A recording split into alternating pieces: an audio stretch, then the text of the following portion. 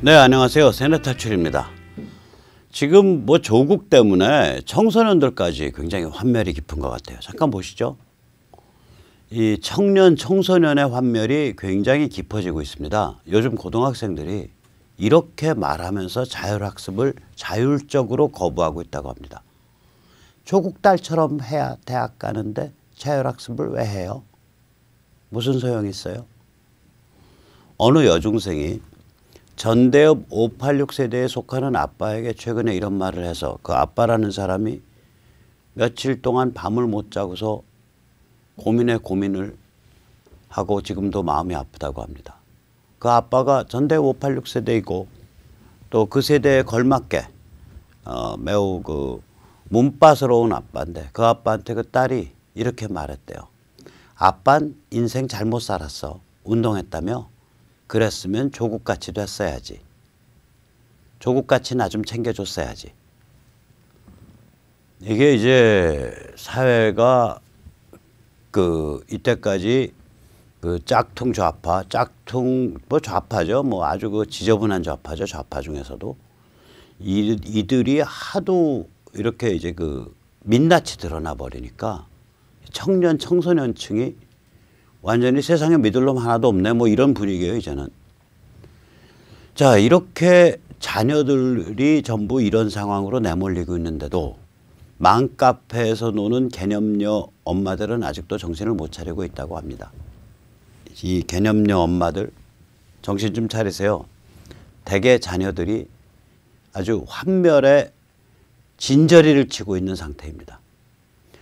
따라서 저는 요새 상황을 세대 갈등, 세대 전쟁이 아니라 세대 경멸이 진행되고 있는 중이라고 봅니다. 즉 문재인 586 세대를 중심으로 해서 지금 현재 30대 후반, 40대, 50대, 60대 초반까지 한 2, 30년에 걸친 이 세대에 대해서 아주 그 경멸을 하는 분위기가 사회에 팽배하게 될 것 같아요. 저는 사회 정치적 문화가 바뀌면 특정 지역 사람들에 대해서 경멸하는 분위기가 팽배할 거다 이렇게 생각을 하고 있었는데 이건 그 범위를 훌쩍 넘었어요. 그 점에 관해서 조국이 엄청난 그 역할을 했습니다. 이 청년 청소년들이 왜 이렇게 심하게 환멸하냐? 이 인지 구조가 저희 같이 나이 들은 이 틀딱들하고는 좀 많이 다릅니다. 굉장히 직관적이에요.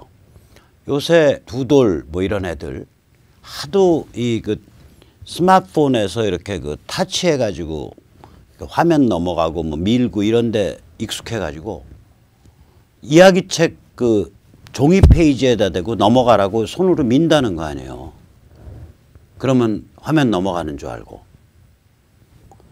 뭐냐면 굉장히 감각적이고 직관적이 돼 있어요. 예. 젊어질수록 그런 식의 세, 세상이 됐단 말이에요. 따라서 이렇게 그 환멸에 그 몸부림칠 수밖에 없다고. 왜냐하면 그냥 꿰뚫어 보니까 복잡한 말이 필요가 없는 거예요. 저건 지들끼리 다 짜고 헤쳐먹은 게임이다. 그런데 나는 어떻게 대학 가냐. 저렇게 배운 자들, 가진 자들이 진본이 뭐 이런 거 내세워가면서 지들끼리 짜고 헤쳐먹고 있는 세상에서 나는 어떻게 살아가야 돼? 이거를 거의 그 피부로 느끼고 반발하는 거예요.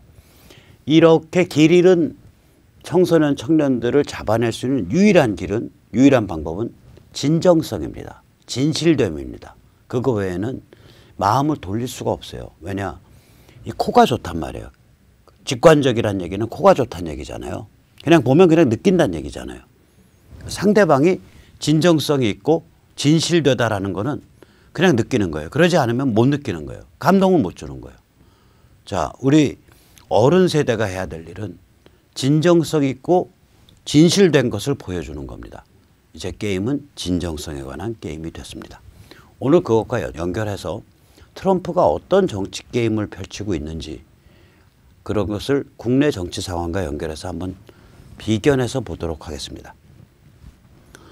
요새 이제 자유한국당이 재미를 많이 보죠. 조국 때문에 으쌰으쌰하고 뭐 왕창 길거리로 몰려 나온다 그러고 머리도 서로 뭐 돌려가면서 잘 깎아주고 좋습니다. 오늘 조선일보가 아주 신랄하게 물었더라고요. 조선일보가 자유한국당 띄워주려고 굉장히 노력하는 신문이잖아요. 참 가상하도록 노력하는 신문인데 오늘 조선일보가 하도 한심한지 이런 취지의 글을 썼던 것으로 기억을 합니다. 야 자유한국당 너희 말이야 조국으로 한참 재미 보고 있는 건 알겠는데 메뚜기도 한철이고 꼴뚜기도 한철이라는데 조국으로 재미 본 다음에는 뭐 할래? 조선일보가 자유한국당을 그렇게 아껴주는 조선일보가 그렇게 얘기를 하고 있는 겁니다. 거다가 게다가 이제 이러 자유한국당이 이제 문제가 되는 게 뭐냐면 이번 10월 3일 날 다 나온다는데 뭐 교보 앞으로 그쪽으로 나가는 모양이에요. 그런데 이 자유한국당 지지자들 중에 제 엊그저께도 제 글에도 써놨다고요. 저는 이제 시청 앞을 주장하는 쪽이지만 거기다 그렇게 써놨더라고요. 10월 3일 교보 앞은 이 사람들 또 광화문이라 그래요. 왜냐면 시청 앞에서 워낙 사람이 많이 몰려가지고 광화문까지 밀고 올라갈 거가 확실하니까 거기 올라타 볼라는지 광화문이라 그러는데 정확히 말하면은 교보 앞에서부터 저기 그 저쪽 문 있는 데 쪽으로 그걸 해놨다고요. 광화문 내거리가 아니에요. 10월 3일 교보 앞은 반문 투쟁을 하는 데고 같은 날 시청 앞은 박근혜 우상하는 데다.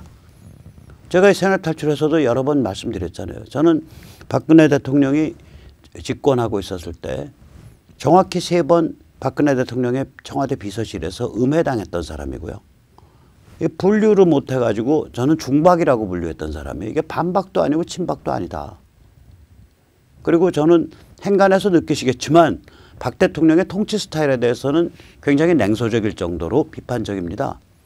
그러나 그것과 달리 다른 두 가지 문제가 박 대통령한테 우리가 짚고 넘어가야 돼요. 다른 두 가지 점을. 우선 첫째는 탄핵 과정이 이게 완전히 폭도스런 거짓에 의한 인격살인 인민재판이었다. 이런 행태를 우리가 짚고 넘어가지 않으면 진실이 다 죽어버리기 때문에 이건 그냥 대한민국의 폭도공화국으로 전락해버리는 거다 하는 게 넘버원이고 넘버투는 뭐냐면 이 사기 탄핵 인격살인 이거로 해서 박 대통령이 뭐 피해자다 이 차원의 문제를 넘어서서 박 대통령이 했던 업적을 봐라. 그 오바마 클린턴이라는 그 흉악한 PC 좌파가 미국을 장악하고 있었을 때에 그래서 박 대통령한테 대해서 끊임없이 견제와 압박이 들어오고 있었을 때에 사드 배치 결정했고 개성공단 철수 결정했고 그다음에 전교조 법외 노조화 결정했고 통진당 해산 결정했고 민노총 탈퇴 자유화 결정했고 플러스 마침내는 2016년 10월 1일 북한 2,500만 주민의 전면적 해방을 선언했다. 박 대통령이 그때 그 정도 해놨으니까 지금 트럼프에 의한 북한 압박, 나아가서 중국 압박을 향한 주춧돌의 하나가 된 거다, 이게. 그때 그거 안 해놨으면 대한민국 다 거덜났다. 그 점 인정하자. 제가 그 두 가지 포인트 얘기하거든요. 이게 무슨 박근혜 우상화예요? 박근혜 대통령에 대한 평가죠. 평가, 이벨루에이션이죠. 이걸 사람을 이런 식으로 프레이밍을 시켜버린다고요. 이게 이제 10월 3일 날 저쪽 집회 간다는 사람들의 얘기예요. 전 저쪽 집회에 대해서 광화문 그 위에 위쪽으로 교보 위쪽 집회에 대해서 저는 한 번도 근거가 없는 프레이밍을 한 적이 없어요. 거기가 이제 목사님 정광훈 목사님이 주도하기 때문에 그쪽에 그 목사라는 기독교라는 컨셉에서 보면 일단 언어가 기독교 주류의 언어와 그 전 목사님의 언어가 좀 다르다. 전 목사님의 언어는 분노, 증오의 언어고 기독교 주류 요번에 10월 3일 날 시청 앞에서 하는 쪽은 그냥 전부 다가 기도로 형성돼 있다. 기도와 찬송. 그러니까 이쪽은 기도와 간구의 언어다. 그다음에 두 번째 그 정광 목사님 쪽은 자유한국당의 탄핵파까지 포함을 해서 자유한국당 멤버들하고 아주 깊게 관계가 된 정당과의 일, 일심동체가 된 그런 집회고 이쪽은 독립적인 시민성 또 독립적인 기독교가 좀 정치권하고는 한 발 거리를 둬야 돼라는 그런 관점의 집회다. 세 번째, 어, 이제 그 탄핵 문제에 관해서 정광훈 목사님이 주도하는 그쪽 집회, 이재호가 주도하는 그쪽 집회는 탄핵 문제에 관해서 묻고 가자. 어, 문재인 끌어내는 게 급하다. 이런 입장이고 이쪽 시청 앞쪽 집회는 탄핵에 관한 문제는 박근혜란 한 인물의 그 뭐 가련함, 불쌍함, 뭐 안 됐음 이런 문제를 훨씬 더 넘어서서 사회의 근본을 형 그 규정하는 근본을 만들어주는 진실성의 문제 진정성의 문제다. 그래서 이게 좀 생각해 봐야 될 문제다. 이거 그냥 그냥 이렇게 얼레벌레 넘어갈 수 있는 문제가 아니다. 이런 이런 관점이다. 그다음에 저쪽 정광훈 목사님하고 이재호가 주도하는 저쪽 집회는 이제 그 어떤 이미지나 전체 표방이 군중 봉기적인 그런 성격을 자꾸 이렇게 그 암시를 하고 그걸 표방을 하고 뭐 다 죽어버리자는 식으로 이쪽은 그게 아니라 굉장히 온유한 기독교 베이스의 집회여가지고 어 그런 그 보다 장기적이고 보다 중기적인 그런 이제 내년 특히 4월 총선을 대비한 이 자유시민의 유권자 네트워킹 이런 쪽으로 갈 가능성이 크다. 저는 근거를 대서 이렇게 딱 개념화해서 얘기를 하잖아요.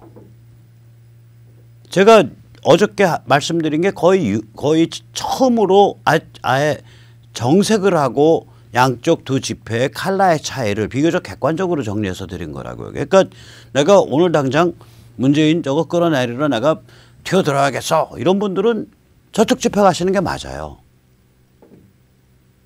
근데 보다 신앙인답고 보다 종교적인 사람들, 보다 영성이 있는 분들은 이쪽 시청합적 집회에 오시는 게 맞다고요. 저는 객관적으로 얘기를 했을 뿐이지 객관적 근거를 가지고 양쪽의 특성을 얘기했지 저렇게 프레이밍을 안 했다고. 근데 딱 프레이밍을 어떻게 하냐? 10월 3일 교부 앞은 반문 투쟁, 10월 3일 시청 앞은 박근혜 우상화. 아 이게 말이 되는 소리냐고 이게. 근데 이런 얘기 하는 사람들, 퍼뜨리는 사람들이 주로 자유당의 그 당권파, 탄핵파랑 관계 있는 사람들이어서 제가 참 씁쓸합니다. 제가 그런 분들한테 묻고 싶은 말이 첫 번째 이 말이에요. 문재인을 당신들이 그렇게 끌어내리기 원하냐? 오케이. 문재인 끌어내리면 무슨 짓인지 할 수 있지? 오케이. 그렇다면 탄핵을 먼저 참여 평가해. 진정성을 보여봐. 그러면 당신들 힘이 두 배, 세 배 커져서 당신들이 그토록 원하는 문재인 끌어내리는데 도움이 될 거야. 아니 무슨 탄핵을 무슨 참여 평가하면은 뭐 종신형을 받아요, 사형을 받아요. 뭐 국회의원 무슨 연금이 없어져요? 국회의원 세비가 없어져요. 하나도 자기가 객관 우리 같은 생활인이 보는 관점에서는 하나도 손해 보는 게 없어요. 소박한 차원에서는 자기들이 작당하고 있는 그 작당 그 네트워크의 코드 불문율이 깨진다는 거지. 일반 생활인의 소박한 관점에서는 하나도 손해 보는 게 없어. 근데 그거 안 하는 거 아니오. 그럼 어디 진정성이 있냐고. 그것도 안 하. 그것만 하면은 문재인 끌어내리는 힘이 열배는 높아질 텐데. 두 번째 이분들한테 묻고 싶은 말이 또 있어요. 이분들이요 절대로 미국의 거대 전략, 미중 전쟁, 중국의 자유화, 그 다음에 분단의 붕괴, 즉 북한 급변사태, 그 이후에 벌어질 자유 코리아 국가연합, Free Korea Confederation의 등장 이런 큰 그림에 대해서는 절대 얘기를 안 해요.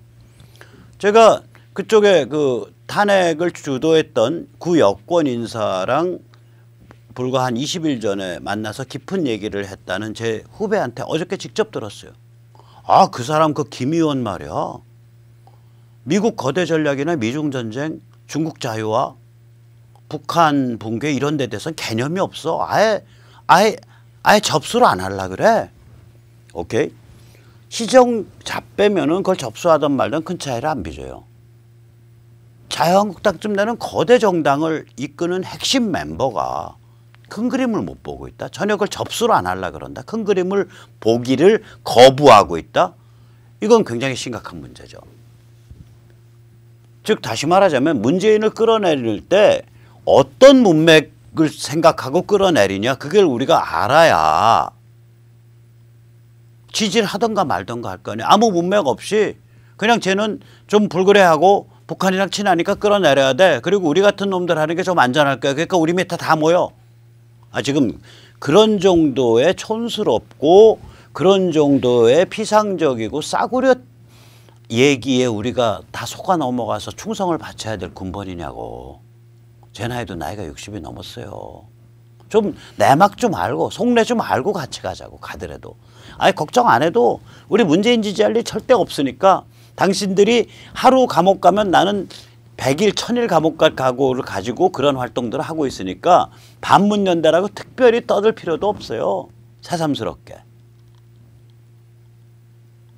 그 다음에 묻고 싶은 말 세 번, 세 번째가 있죠. 이건 또 자유한국당과 달리 주로 이제 우리공화당의 지도부에 대, 한 건데 저는 우리공화당의 민초 기반을 형성하고 있는 열혈 자유시민에 대해서는 극도의 존중심을 갖고 있습니다. 그러나 그 지도부에 대해서는 조금 퀘스천 마크가 있어요. 이 지도부가 이, 이 훌륭한 민초 기반을 이렇게 훌륭한 그 정치 교양, 정치적 안목으로 발전시켜가는 기보다는 이거를 자꾸 깎아가지고 탄핵 무효, 사기 탄핵으로만 이슈를 좁힌단 말이에요. 그럼 결국은 어떻게 되냐면 박 대통령을 사기 탄핵의 피해자, 인격살인의 피해자로 주저앉히는 꼴이 돼요. 아 저것도 그냥 박사모 저 버전 2 이러고서 그냥 밟혀버린다고요. 일반 일반한테 쟤들한테. 물론 아까도 거듭 말하지만 탄핵 반드시 평가해야 돼요.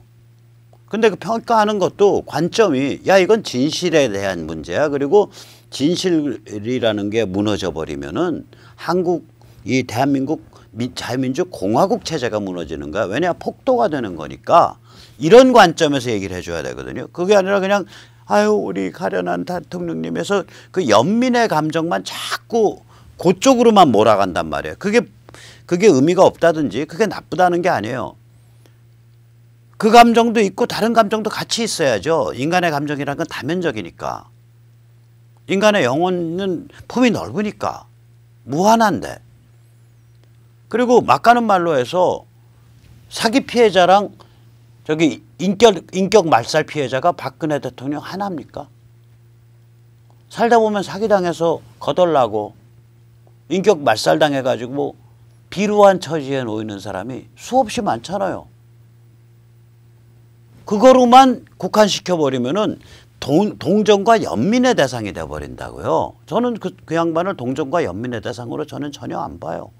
저는 존중하는 파트너 혹은 존중하는 지도자로 봐요. 저같이 뭐 별, 별볼 없이 사는 사람이 그 양반을 제가 감히 동정하고 연민할 군번이 안 된다고 저는 생각해요. 영어로 할 때는요, 이 말이 확실히 전해집니다. 영어에서 제일 지독한 욕이 뭐냐? I pity you.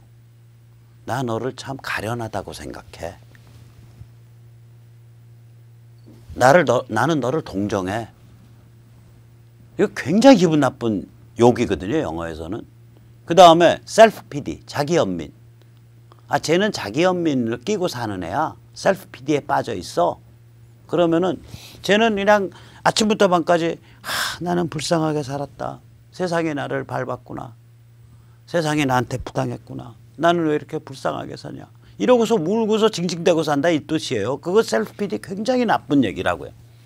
저는 제가 감히 그 양반한테 동정이나 연민을 드릴 만한 처지에 있다고 생각을 안 해요. 그 양반이 저를 동정하고 연민하면 했지.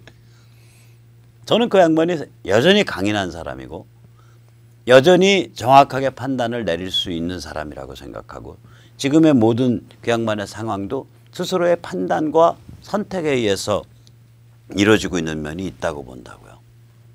그럼 무슨 특별히 연민할 게 없다고요? 동정할 게 없어요. 저의 파트너고 저의 동지고 저의 지도자죠. 그런 거 아니에요? 자, 그래서 여기서 이제 아 이게 저는 이 자유한국당이 이제 사람들이 많으니까 그 뭐 그 중에서 또 올바른 생각 가진 분도 많으실 거라고요. 그래서 트럼프에 빗대서 정치는 이렇게 하는 겁니다. 라고 오늘 좀 과외를 건방지게 하고 싶습니다. 트럼프 요새 보면 진짜 빛나는 전략이에요. 이 트럼프 전략은요 뭐냐면 기본적으로 분열의 정치입니다. 편가르기 정치입니다. 이게 우리가 해야 돼요. 우리가 해야 돼요. 적을 적이라고 규정을 해야 싸울 거 아니에요. 분열의 정치를 해야 됩니다. 그런데 이 분열의 정치는요, 으스스한 겁니다. 이게 정치의 본질은 나와 너희를 편가르는 것 이라고 선언한 사람은 나치 정치 철학자였던 칼 슈미트입니다. 제가 이런 걸 하면 어 백모 드디어 나치 극우 우파의 본색을 드러내는구나 아닙니다. 저거를 열렬하게 박수치면서 소개한 거는 대한민국의 깡통 좌파들이었습니다. 저는 깡통 좌파들이 저 사람을 하도 열렬하게 소개하길래 저 사람이 어떤 사람이야 하고 들춰본 적밖에 없습니다. 자, 그래서 이거를 근데 트럼프는 이제 예를 들어서 나치 같으면 이렇게 편을 가르죠. 세계를 지배할 우리 독일 민족 그리고 독일 민족이 아닌 짐승 같은 민족들. 세계를 지배할 우리 독일 민족. 이건 도이체 위버 알레스라는 구호 또 그 노래. 그래서 그 나치 독일의 국가는 지금도 저기 그거죠. 독일에서는 금지곡이죠. 부르면 잡혀 금지 정도가 아니라 감옥에 갑니다 거기.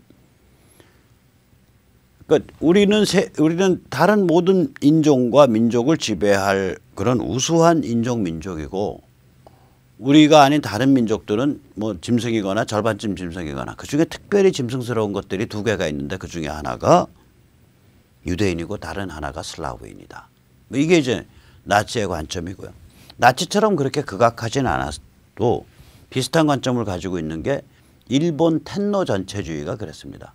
텐노 전체주의가 어 일본인은 세계 다른 민족을 지배할 운명을 타고났다라고 가르쳤어요. 그래서 1946년 1월 1일 메가더 그 사령부가 그 텐노를 시켜서 인간 선언을 하게 만드는데 인간 선언의 한 구절이 그런 게 있습니다. 우리 일본인이 세계의 다른 민족을 지배할 운명을 타고났다라는 식의 이야기를 우리 텐노 가문은 인정하지 않는다.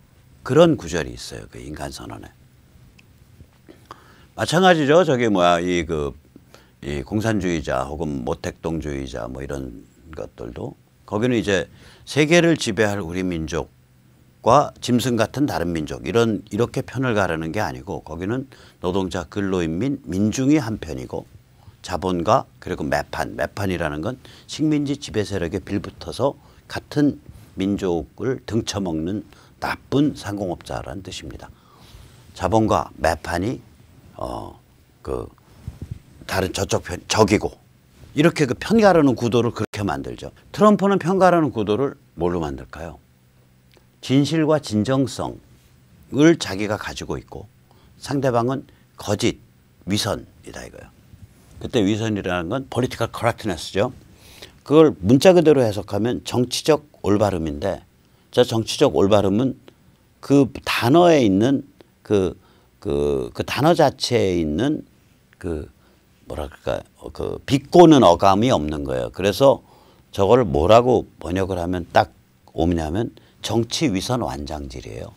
우리가 정이고 우리 스토리가 선이고 너희는 다 가짜고 너희는 다 그 수국골통이다. 뭐 이런 관점. 우리 문바라든지 어 그 다음에 깡통 좌파들의 그런 언행에서 드러나는 그런 관점입니다. 그래서 트럼프는 자기들을 자기의 관점을 진실과 진정성이라고 얘기를 하고 상대방을 페이크 뉴스, 거짓 뉴스, 가짜 뉴스, 거짓 그리고 상대방을 정치 위선 완장질을 일삼는 PC 좌파라고 규정을 해버리는 거예요. 그러면 트럼프의 분열의 정치는 어떤 거냐? 수구 기득권이 억눌러 온 진실 진정성을 기준으로 수도구 기득권들이 이때까지 진실과 진정성을 은폐시켜 왔다고요. 억압해 왔다고요. 그걸 기준으로 이 진실과 진정성을 직시하는 우리와 이거를 억압하는 너희 그렇게 편을 가려는 거예요. 자 그러면 트럼프가 악랄한 사기꾼인지 아닌지는 과연 트럼프가의 그 핵심적 주장이 어떤 진실과 진정성을 담고 있는지 그거에 의해서 결정돼야 돼요. 만약에 트럼프의 핵심적 주장이 아무런 진실과 진정성이 없다. 그러면 트럼프는 진실을 하이제킹한 진실을 말하자면 찬탈해서 내가 진실과 진정성의 편이오 이렇게 주장하면서 국민을 우롱하고 있는 아주 악랄한 분열 정치가가 되는 거예요. 거꾸로 만약에 트럼프의 주장에 정말로 트럼프의 노선에 거기에 진실됨, 진정성이 있다. 그리고 정말로 그러한 진실됨과 진정성이 미국의 수구 기득권에 의해서 은폐되거나 억압돼 왔다면 그건 트럼프 구도가 맞는 거다. 이렇게 되는 거죠. 그럼 한번 우리가 트럼프가 정말로 악랄한 사기꾼인지 혹은 진정으로 위대한 진정성에 바탕한 분열의 정치를 하고 있는 정치 예술가인지 한번 살펴보시죠. 우선 미중 전쟁입니다. 이때까지 미국에서 중국을 주적으로 규, 규정하다시피 한 그런 스탠스는 한 번도 있은 적이 없어요.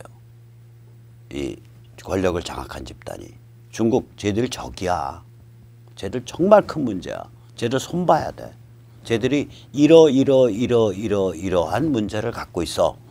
이거를 트럼프 행정부는 국가 전략 보고서에서 얘기했고 허슨 연구소에서 얘기했고 허슨 연구소에서 있었던 펜스 연설에서도 얘기했고 거기랑 관련된 사람들이 Committee for Present Danger China (CPDC) 중국이라 불리는 현존 위협에 대한 국가 비상대책위원회 이런 거를 만들었고 기회 날 때마다 저걸 얘기하고 있고 중국에 대해서 아주 살벌한 조치를 취해왔잖아요. 그 사람들이 이런 조치를 취할 때 근거로 삼는 조건 그 중국에 대해서 규정하는 그 그게 있다고요. 우선 첫째, 중국의 내부 식 민지와 환율 조작을 통해서 엄청난 무역 흑자를 누리면서도 인플레를 억제할 수 있었다. 원래 무역 흑자가 저렇게 무역 흑자가 저렇게 크면 인플레가 나서 인플레 때문에 물가가 상승해서 무역 흑자 폭이 줄어드는 그런 구조를 갖게 되는데 중국은 그런 구조가 아니라 무역 흑자 엄청나게 빨면서 그러면서 내부식 민지와 환율 조작으로 인플레를 눌러왔다고요. 내부식 민지로. 그러니까 환율 조작에 의해서 무역 흑자 내고 내부식 민지로 인플레 누르고 이 패키지거든요. 이거 맞거든요. 중국 중국의 공산당 인민해방군 주도 국가자본주의의 레시피가 바로 저겁니다. 내부식 민지 플러스 환율 조작입니다. 맞는 얘기예요. 자, 두 번째. 얘들이 넘치는 달러를 가지고 무차별적인 경제 침탈을 했다. 이것도 맞는 얘기예요. 세 번째, 얘들이 기술 지적 재산권을 강탈하고 외국 기업의 활동을 제어하고 있다. 이것도 맞는 얘기예요. 우리 사드 좀 그거 까는 땅 좀 제공했다고 롯데가 당한 거 보세요. 요번에 저기 한국이랑 좀 그러니까 북경에서 하루아침에 삼성 현대 간판 다 뜯겨 나가잖아요. 외국 기업의 활동을 제어하는 거 아니에요. 그 다음에 얘들이 중국 내부를 동물농장 디지털 전체주의 다시 말하자면 뭐 신강 위구르족 한 100만 명을 강제 수용시켜버리고 티벳에 불교를 박살을 내가지고 티벳 승려들이 계속 분신자살하고 있고 카톨릭의 주교를 임명권을 공산당이 가져가고 홍콩에 대해서 일국 이체제 약속을 안 지켜서 홍콩이 저렇게 불거져 나오, 나오게 되고 뿐만 아니죠. 일거수일투족을 전부 평점화해서 그 평점의 이름이 사회신용 시스템인데 사회신용 시스템 평가 평점이 낮으면은 꼼짝도 못하게 만들고 그 평점이 높으면은 마음대로 돌아다니게 만들고 이건 동물농장 디지털 전체주의잖아요. 이것도 맞는 얘기라고요. 그 다음에 개발도상국에 대한 21세기 식민주의 이것도 맞는 얘기죠.